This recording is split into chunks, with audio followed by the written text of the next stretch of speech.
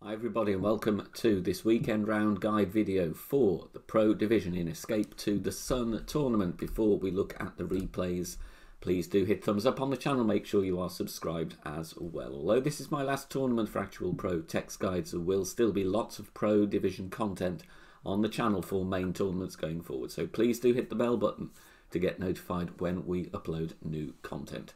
Good luck and here we go. Okay, we have a nice tailwind on hole one. Of course, if you do want to try and blast it, you can, but for me, I much prefer laying up and going for the thorn second shot. Uh, just under six top spin, three bars side spin to the right. Leave yourself room before the rough for your first bounce due to tailwind. And we're going to aim at the rocks in the distance. Max plus 20, power 2 settings. We are using a katana. If you don't have Extra Mile 8 Plus or Apocalypse 3 Plus, then you can use the big topper instead. Make sure you look at the position of the second bounce with your spins added. Um, just to check you've got everything else correct, even if you're using a different accuracy club. Uh, outer wall curl to the right, and we're looking to get this one around 350 yards. Second shot, going to check distance here with a fringe check where the fringe meets the green. Plus two here, and my suggestion here based on the lip out that we get in the video is to go 66% slider, 10% elevation. You can use drive distance if you want to, if you don't want to do fringe check, if that isn't possible, but uh, fringe check is the most accurate reference that we can have here. One and a half backspin, aim at the pin, but ball guide just short of cup, especially with thorn 8 and 9. Otherwise you will come in too hot, even shorter with obviously thorn 7 or lower. So 66 slider, 10% elevation based on this very unfortunate lip out here. Perfect ball away, pulling over the bullseye. We think we're going to drop it, but very unlucky just to catch the right edge and take a 180 out on hole number one. Hole number two, we do have a hole in one here. Recommend to keep the wind below 6.6 miles per hour. Just over five backspin, about 5.1 and just over one and a half right spin. So 5.1 backspin, 1.6 right spin. Blue ring touching the rough. And just look where the ball guide is there. It seemed to be long there to the right, but then you move it a click to the left and it is a shorter ball guide. Second bounce just before the fringe. So find your position carefully. It is a tough one to find, but very important to do so.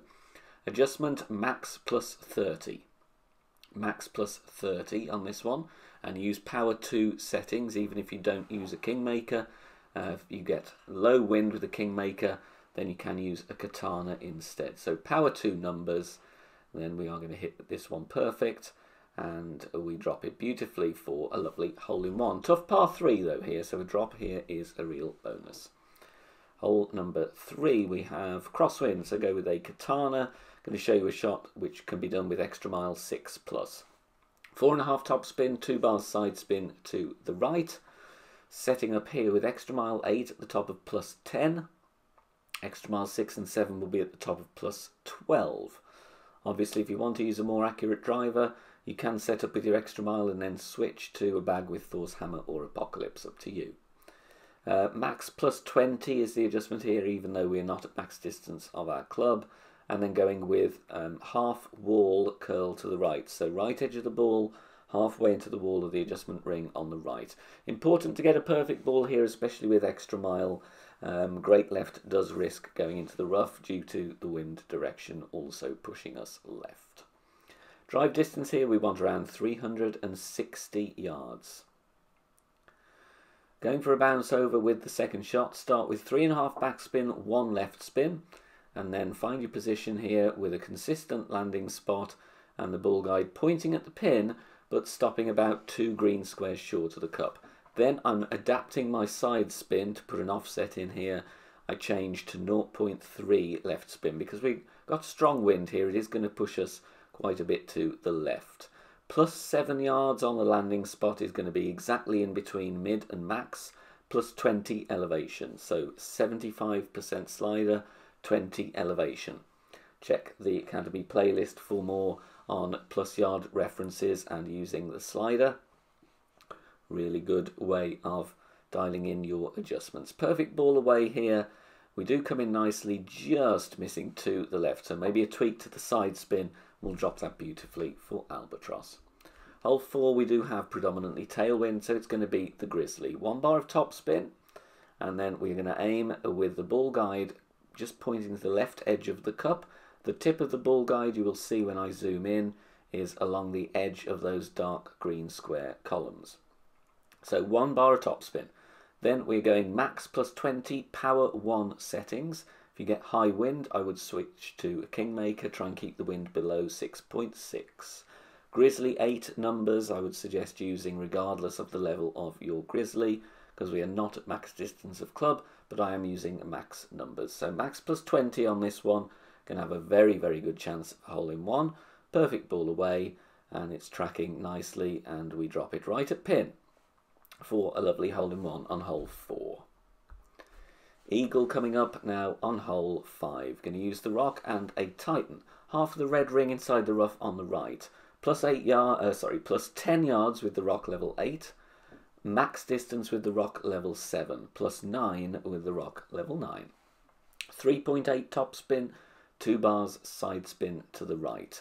Then we are going to adjust max distance, 20% elevation, and once we've done that, we are going to take our shot with half a ball of curl to the right. Using the rock here because a great left, great right still going to be safe.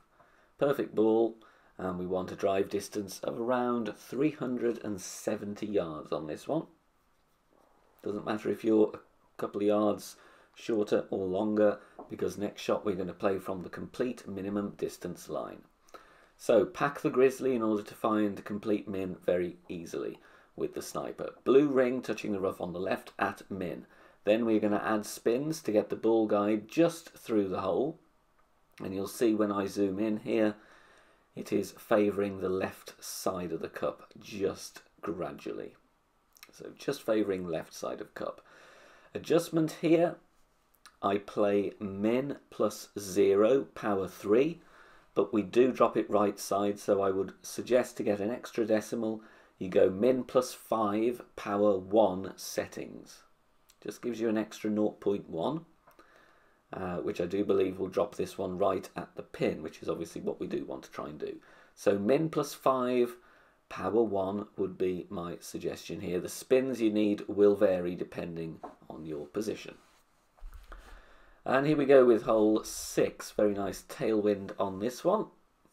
And we're going to go with the driver with six bars of topspin, but you could use extra miles six or seven, in which case you would need to apply a little bit of overpower to gain some distance. So six top spin, one bar side spin to the left, add your spin and start at max point down the middle of the fairway. Once we've found our position, we're going to adjust max plus 10